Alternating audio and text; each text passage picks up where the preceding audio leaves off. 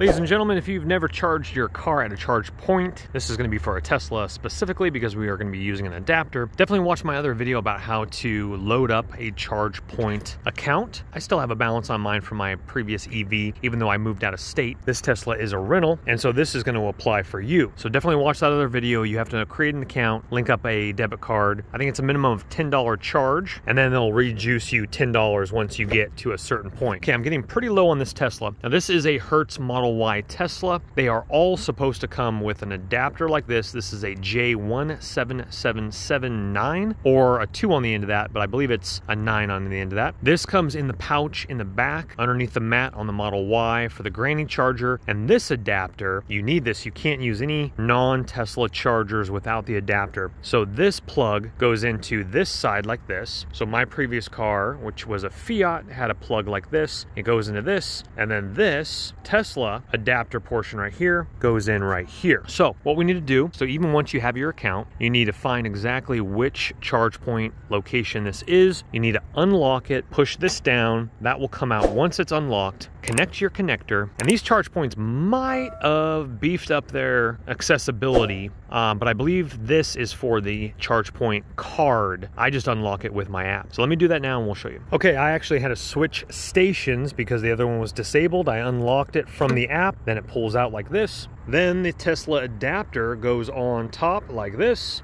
and it'll look like this on the other side and then go ahead and plug that on in. Now disconnecting it, you want to make sure that the adapter is not plugged in there. So you want to go ahead and I'll show you how to do that when we are done. We are charging right now and on the app it actually shows, sorry about the light contrast, it's kind of hard to see, but we can see that on the app and it's going to be about $4, I think under $4 for about three hours of charging, which is absolutely fantastic. This is kind of a slower one. This is only 6.2 kW instead of a supercharger, which just is just beefy, beefy, beefy. So anyway, it's right across the street from my hotel, which is nice. And so I'll walk back and then walk back in several hours. Okay, folks, I think we're coming up on about two and a half hours or so. Not as good as supercharging, obviously, with only 6.2 kilowatts per hour, but I thought it did okay. So we're gonna go ahead and disconnect now. So let's go ahead and go into the car here and we're gonna make this the simplest, easiest way for us. Nine hours, 10 minutes remaining, 85 miles. So that,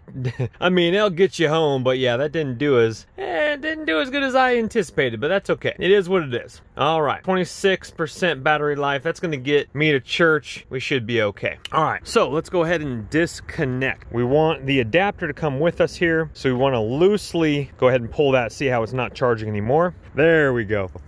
So you just barely push on this once, oh, and then there's the flap. So careful of the flap.